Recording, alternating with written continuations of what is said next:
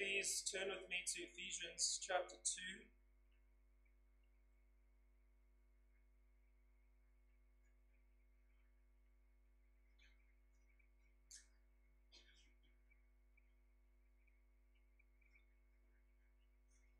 Ephesians chapter 2, and this morning we will pick up the reading from verse 11.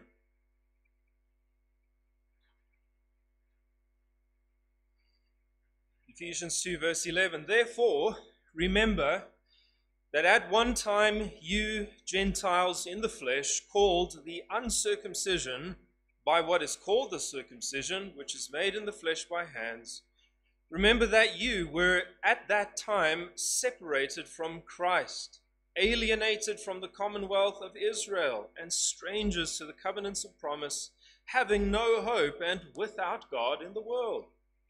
But now, in Christ Jesus, you who once were far off have been brought near by the blood of Christ. For he himself is our peace, who has made us both one, and has broken down in his flesh the dividing wall of hostility by abolishing the law of commandments expressed in ordinances, that he might create in himself one new man in the place of two, so making peace and might reconcile us both to God in one body through the cross, thereby killing the hostility. Let's pray. Dear Father, we thank you for this precious word, which we acknowledge is the very word of God open before us this morning. Thank you, Father, for inspiring the Apostle Paul to write down these tremendous mysteries. And we pray that you would give us ears to hear this morning. May you give us receptive hearts, the hearts that the Lord Jesus described as the fertile soil in the parable of the sower. We pray this all in Jesus' name. Amen. In 1871, the archaeologist Charles Clermont Ganneau discovered a slab of limestone near the Temple Mount in Jerusalem. And this slab turned out to be an ancient warning sign written in Greek. The warning went like this No foreigner may enter within the barrier and enclosure around the temple. Anyone who is caught doing so will have himself to blame for his consequent death. Now, last week we had a look at why there was such a serious divide between the Jews and the Gentiles, or the Jews and the rest of the nations. This ancient limestone warning notice illustrates once again the enormous tension between God's covenant people and the rest of the world. And this divide wasn't a small matter.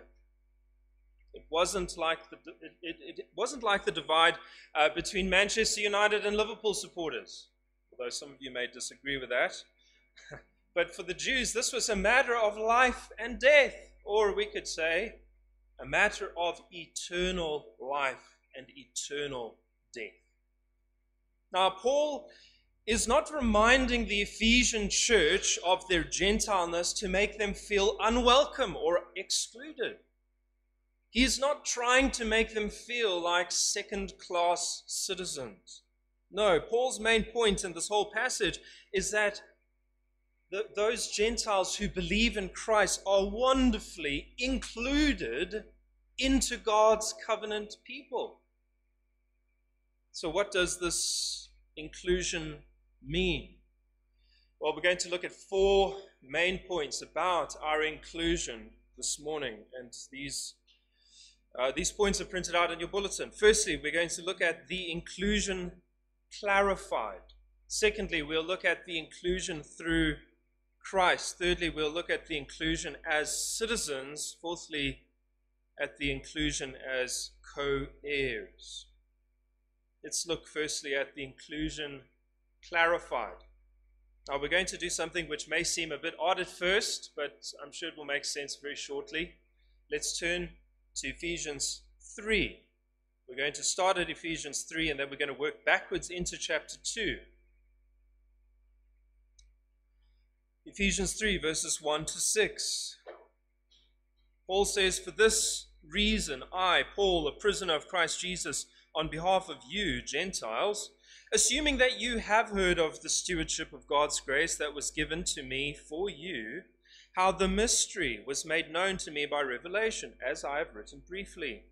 When you read this, you can perceive my insight into the mystery of Christ, which was not made known to the sons of men in other generations, as it has now been revealed to his holy apostles and prophets by the Spirit.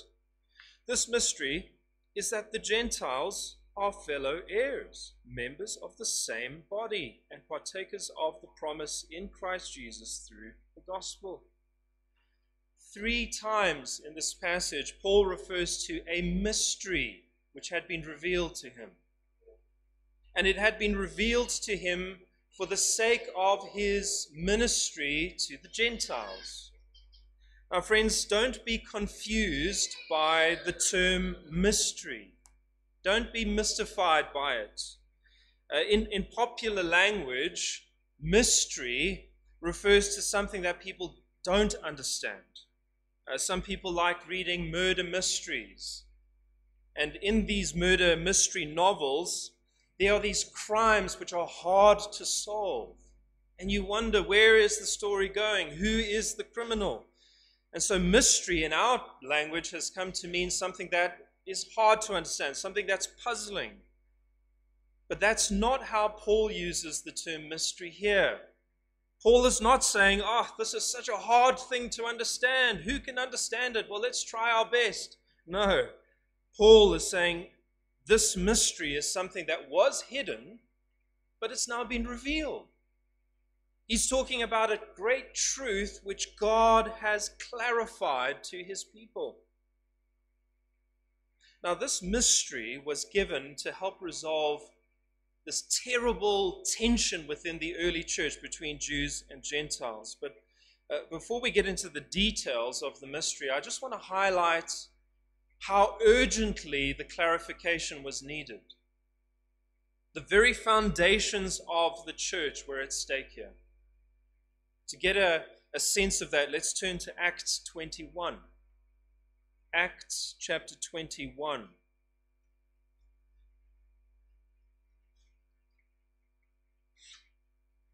Acts 21 from verse 27. When the seven days were almost completed, the Jews from Asia, seeing him, that is Paul, in the temple, stirred up the whole crowd and laid hands on him, crying out, Men of Israel, help! This is the man who is teaching everyone everywhere against the people, meaning the people of God, and the law, and this place. Moreover, he even brought Greeks into the temple and has defiled this holy place. For they had previously seen Trophimus the Ephesian with him in the city, and they supposed that Paul had brought him into the temple. Then all the city was stirred up, and the people ran together. They seized Paul and dragged him out of the temple, and at once the gates were shut.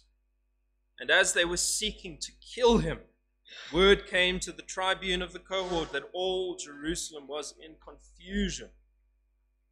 So, friends, do you see how urgently the clarification was needed? I mean, poor Trophimus. Poor Trophimus the Ephesian may very well have been one of the founding members of the church in Ephesus. He was an early Greek convert. Can you imagine how he felt? I mean, he had just recently come to faith in Israel's Messiah, Jesus.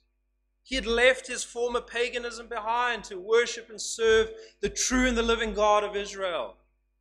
He had been told by Paul, a Jew, that he was a fellow citizen with Israel, a co heir with Israel, or a saint or a holy one. But now, as soon as he comes near the temple, apparently, the covenant people of God want to kill Paul for desecrating God's holy place. Paul and Trophimus may have even walked past that ancient limestone warning sign near the temple Foreigners, stay away or die. Now, you can just imagine what an effect this had on the early church. The Gentile Christians must have felt extremely rejected by God's covenant people. They must have felt like total outsiders. Now, this is why the Apostle Paul had to reassure them about their status in the eyes of God. Over and over again in Ephesians 2 and 3, Paul reminds them that they are truly part of the people of God. And he reminds them over and over again that he is not saying this on his own authority. I mean, that wouldn't work for a second.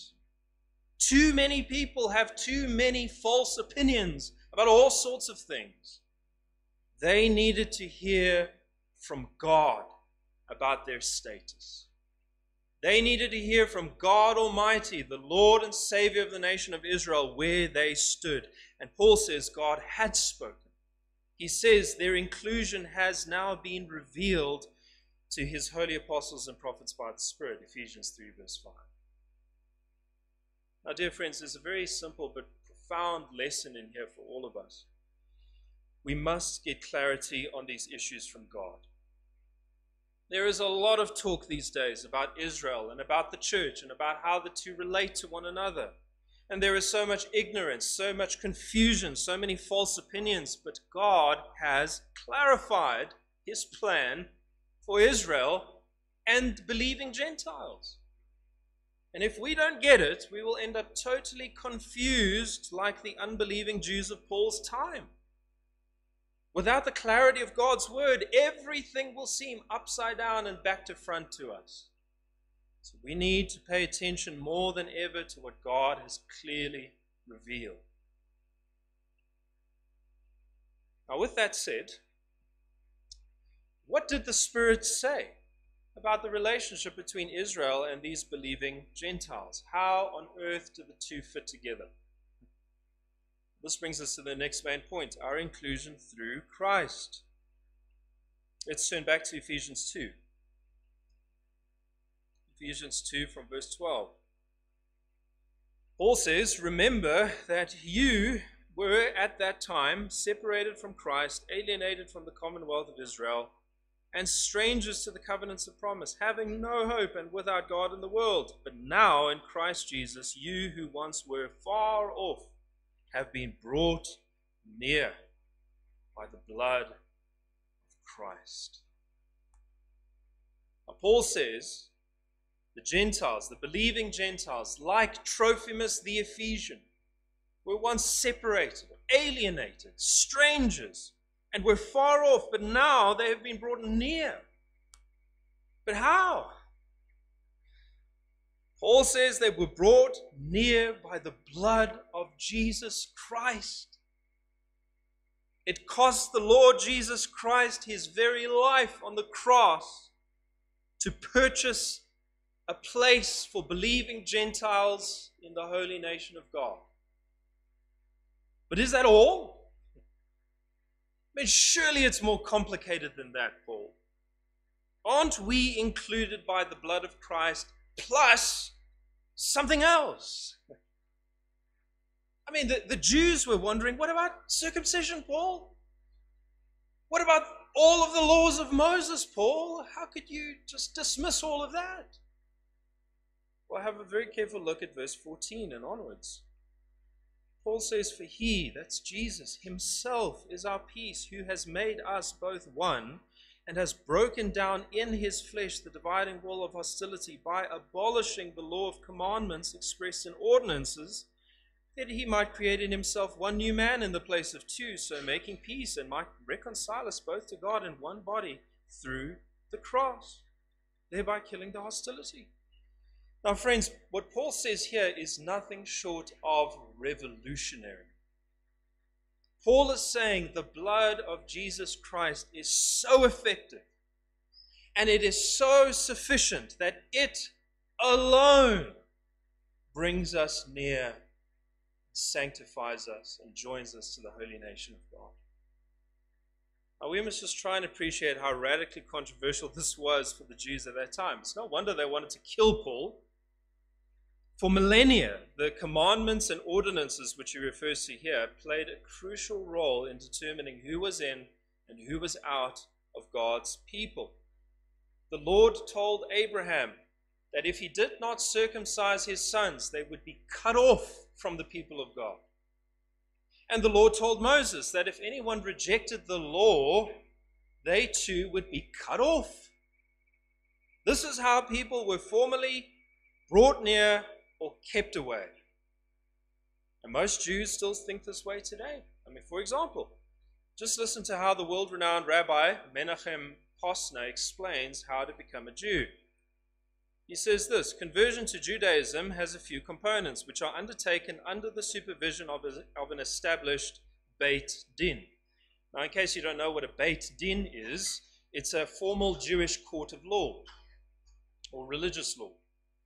And these courts are typically composed of at least three uh, Jewish men who are Torah experts, one of which has to be an Orthodox rabbi.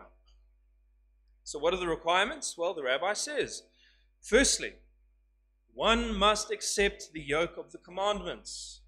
When you convert, you must verbalize your commitment to live in accordance with all of the Torah's 613 commandments as they are explained in Torah law. It is not enough to commit to some or even most of the precepts. A convert must commit to every single one of them, which is ironic because of how many they can't keep these days. He says also this needs to be done out of a sincere desire to serve God as a Jew, not because of any ulterior motive such as the desire to marry a Jewish woman or a Jewish man. Secondly, one must be immersed in the mikvah. A mikvah is a pool of natural water, usually rainwater. At your conversion, you will dunk into the spiritually cleansing bath. It is at this moment that you will accept the Torah upon yourself. Thirdly, males must be circumcised, but if you were circumcised as a child, a symbolic drawing of blood is all that will be done at this point. And then, fourthly, when the temple stood in Jerusalem, a convert would bring a special sacrifice to the holy temple in Jerusalem.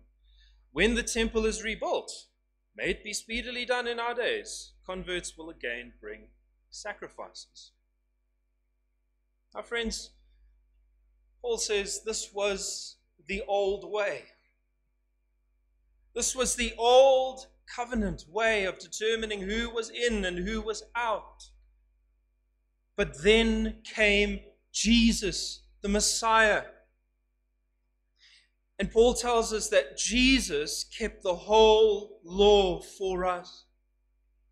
Jesus fulfilled all that the law required on our behalf. All of it, civilly, ceremonially, morally. Jesus didn't just chuck the law out, he fulfilled it for us. And then he died for all the laws that we broke and that we would break. And because of that, all we need to do to be included in God's holy nation is to put our trust in Jesus Christ. There are no other hoops to jump through, says Paul. No physical circumcision is necessary. No sacrifices need to be offered at the temple because Christ is our sacrifice. No dietary laws need to be followed. No, only faith in Jesus' shed blood. That's all. And this applies to Jews and to Gentiles. There, there are no two ways which you can choose from. It's not the law or Christ, if you like. Paul says faith in Jesus alone. Do you have that faith, friends? Do you have that bold confidence in Jesus Christ alone? Or to put it differently, do you believe that we are included into God's holy people by grace alone, through faith alone, in Christ alone, according to the scriptures alone, to the glory of God alone? Do you believe that? Because that's the gospel. That's what Paul is telling about, us about here, and it's absolutely wonderful. Now, Paul says the believing Gentiles, like you and I, are brought near. That's his specific language. We are brought near. But what does this mean? How near have we been brought? Well, this brings us to our next main point. the inclusion as citizens. The inclusion as citizens. Let's have a look at Ephesians 2, verse 19. Ephesians 2, verse 19. Paul says, So then you are no longer strangers and aliens, but you are fellow citizens with the saints, or more literally, with the holy ones, and members of the household of God. Now, throughout the Old Testament, a clear line was drawn between the stranger or sojourner and the Israelite citizen. For example, early on in Exodus, Exodus 12, verse 48, Moses says this about the Passover, which is one of the central feasts of the Jews. He says, If a stranger shall sojourn with you and keep the Passover to the Lord, let all his males be circumcised, then he may come near. So you see where Paul's borrowing his language in Ephesians. Then he may come near and keep it. He shall be as a native of the land, but no uncircumcised person shall eat of it. Now, friends, we see these terms, stranger and sojourner, come up over and over again in the Old Testament. There were people uh, who would visit Israel for various reasons. Perhaps they even lived in Israel or traded in Israel or had their holidays in Israel, who knows. But the fact remained they were not Israel. As long as they remained uncircumcised, as long as they did not submit to the whole law of Moses, they were not citizens, they were just guests. Now, with that in mind, have a look at Ephesians 2:19 again. So then, you, believing Gentiles, are no longer strangers and aliens but you are fellow citizens with the holy ones, with the household of God. Now, dear friends, Paul is saying we Gentiles are not these traveling uh, uh, strangers or guests, and we're certainly not illegal aliens. We are fellow citizens. We don't merely have Israeli visas which need to be review, uh, uh reviewed and renewed. No, we have full citizenship. Now, I know this might seem very confusing to you because if you take the letter to the Ephesians to the Israeli embassy in Pretoria and you say, Look, it says here I'm a citizen, they'll laugh at you. So, what on earth does it mean that we are fellow citizens? Well, friends, it clearly does not apply to the nation state of Israel in this world. Because the nation state of Israel in 2024 does not believe in Jesus Christ. If they did, they would welcome us. So, what does it mean to be a fellow citizen? Who are we fellow citizens with? Well, Paul helps us in Galatians 4. In Galatians 4, verses 25 and 26, Paul compares and contrasts two Jerusalems. The one he calls the present Jerusalem, which represents the Jewish nation on earth, and the other he calls the Jerusalem above. And he says the present Jerusalem represents the earthly Jewish nation which is in slavery to the law and unbelief, whereas the heavenly Jerusalem represents the free children of the promise who belong to Jesus Christ. In Galatians 4, verse 26, Paul says, But the Jerusalem above is free and she is our mother. So, dear friends, we are children and we are citizens of the Jerusalem above. Or to use Paul's terms in Philippians 3, verse 20, our citizenship is in heaven. We are Israeli citizens who are recognized by the Jewish capital in heaven. And our citizenship in heaven is far more imp- important than having uh, an Israeli citizenship on earth. Why? Well, because you can have an Israeli citizenship on earth, but that does not guarantee you salvation and eternal life. There are many, many unbelieving Jews today who reject Christ. And they think they're part of the holy nation of God, but in reality they are cut off. But if you are a citizen of the heavenly Jerusalem, the Jerusalem above, you are saved. You are truly part of God's people. So, friends, that's how near we have been brought by the blood of Jesus Christ. It's not near as in, oh, you're just a, a cousin or just a friend of Israel. No, we are, Paul says, fellow citizens. And so we all have dual citizenship. Yes, we have citizenship with nations in this world, but far more importantly, we Christians are citizens of God's heavenly nation. Now, because of this, Paul says we are also co heirs with Israel, which brings us to the final main point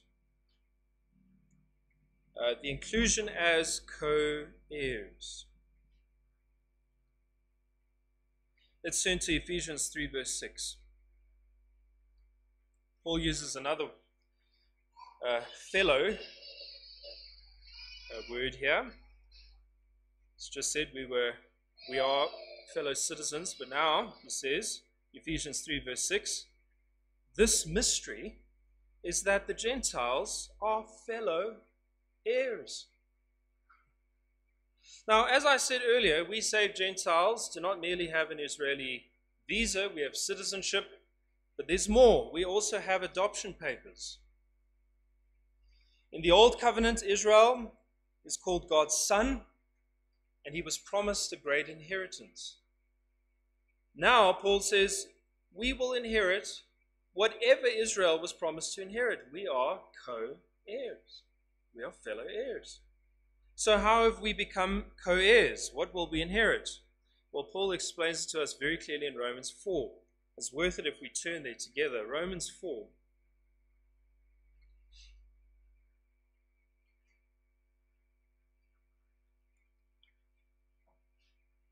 Know we're jumping around a lot today, but uh, I trust it's worthwhile. Romans 4 from verse 13. Paul says, For the promise to Abraham and his offspring that he would be heir of the world did not come through the law, but through the righteousness of faith. For if it is the adherents of the law who are to be the heirs, faith is null and the promise is void. But the law brings wrath, sorry, for the law brings wrath. But where there is no law, there is no transgression. That is why it depends on faith in order that the promise may rest on grace and be guaranteed to all his offspring, not only to the adherent of the law, but also to the one who shares the faith of Abraham, who is the father of us all. As it is written, I have made you the father of many nations, or Gentiles, in the presence of the God in whom he believed, who gives life to the dead and calls into existence things that do not exist in hope he believed against hope that he should become the father of many nations or Gentiles. So, oh, sorry, as he had been told, so shall your offspring be. So Father Abraham had many sons. Many sons had Father Abraham. And I am one of them, and so are you. So let's just praise the Lord. Well, that's a sweet children's song. And it's true if you are a Christian. You are a child, you are a son and daughter of Abraham. In Romans 4, verse 16, Paul says, Those who share the faith of Abraham are his children. And in Galatians 3, verse 29, he says, And if you are Christ, then you are Abraham's offspring, heirs according to the promise. So we, Gentiles, have been included into this wonderful Abrahamic family through Jesus Christ. Once again, not through the law, Paul says very clearly, but directly through faith in Jesus Christ. It's as simple as that.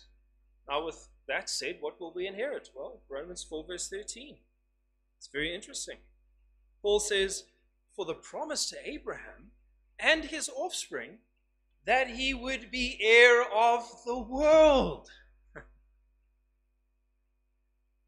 what does that mean? Paul says the world in Greek, cosmos. Now, the Greek translated, uh, the Greek word translated world uh, is cosmos, and Paul had been using that word in Romans up until chapter 4 many times, and every time he uses it, it means the world in the broader sense. It doesn't just mean a part of the world, it means the world. Uh, you might be scratching your head at this point thinking, where did God say to Abraham, you can have the world? I mean, even our Sunday school children know he was promised the promised land, right? That's a little part of the Middle East. That's the land of Canaan. That's all we know about. So, so what's this all about? Well, our Reformed Baptist brother Thomas Schreiner, who's one of the most brilliant biblical scholars in the world, wrote a magnificent commentary on Romans. And I don't usually like to quote commentaries at length in the pulpit, uh, but I think it's worthwhile this time just because of how much clarity he brings to this point. Here's how he explains why Paul says he would be heir of the world. Tom says, Examining the Old Testament, we find no explicit statement that Abraham would become heir of the world. God had promised Abraham that he would have a multitude of descendants and the land of Canaan, and that all the nations would be blessed through him. Nonetheless, the idea that Abraham and his offspring would become heirs of the world is not foreign to the Old Testament. The entire earth will be the possession of the promised Abrahamic king in David's line, according to Psalm 2, verse 8. He will reign from sea to sea and from the river to the ends of the earth, Psalm 72, verse 8. The whole world will be filled with Israel's fruit, Isaiah 27, verse 6. And Israel's rule will be universal, Isaiah 54, verses 2 to 3. The book of Jubilees deduce from the Abrahamic covenant that Jews will inherit the world. If universal blessing for all peoples is offered by God, then this is another way of saying that God will reclaim the whole world, which was lost through Adam's sin. The universal character of the promise is sounded forth in the rest of the Old Testament, and Paul's view that the promise includes the whole world was virtually a shared belief among Second, second Temple Jews. Do you see what's at stake here, friends? This is magnificent. God's inheritance for Abraham was always way more glorious than that tiny little strip of land in the Middle East. God's plan was always way bigger, way better. Abraham was ultimately promised the world with the Middle East thrown in.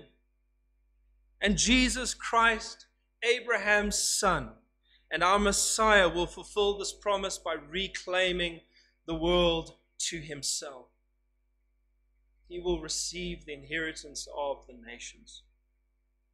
Now, Paul is telling us that we Gentiles who believe in Jesus are co heirs. We will not inherit anything different, we will not inherit anything less.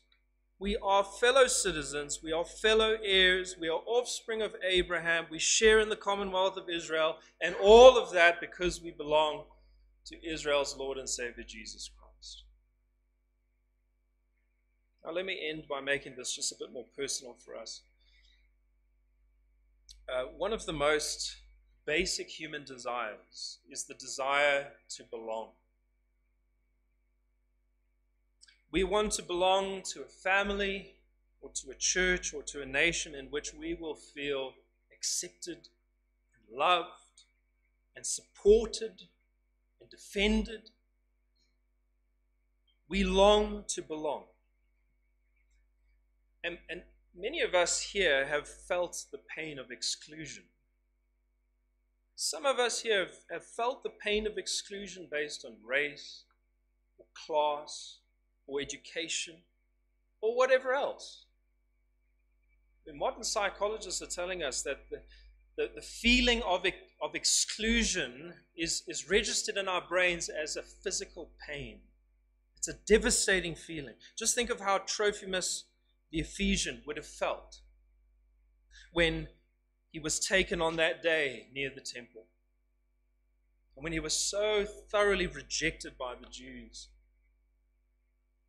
But we all long to belong to some people, somewhere. And now Paul is telling us that we, believing Gentiles, belong. We belong to the most important family in the world, and we belong to the most important nation in the world, and we belong because of our Savior Jesus Christ, the only true Savior of the world, we have been included into that magnificent holy tree which Paul talks about in Romans 11. God planted that tree, He causes it to grow, He prunes it, He grafts branches into it like us, and He gives it eternal life. We belong to this holy tree or this holy nation, and with that we will inherit what they've been promised to inherit, all through our conquering priest, King Jesus Christ. May we never ever forget what amazing privileges these are. Let's pray together. Father, we thank you for uh, this tremendous teaching on who we are, this tremendous mystery which Paul refers to, which has been entrusted to him for the sake of the Gentiles, for the sake of, of us here. We thank you for the truth that we are included. We are included through Christ. We are included as co heirs. We are included as citizens. What a magnificent privilege that is. We didn't deserve it. We couldn't earn our place among your holy people. We could never, ever do anything to sanctify ourselves. We could never do anything to make ourselves welcome in your household. And yet, by grace through Christ, you've welcomed us in. What a wonderful privilege. Please guide us in these times, Lord. We know that there are many different opinions about the church and about Israel and how the two relate together. Lord, we pray that you would give us grace to see what Paul has revealed here. In Jesus' name we pray. Amen.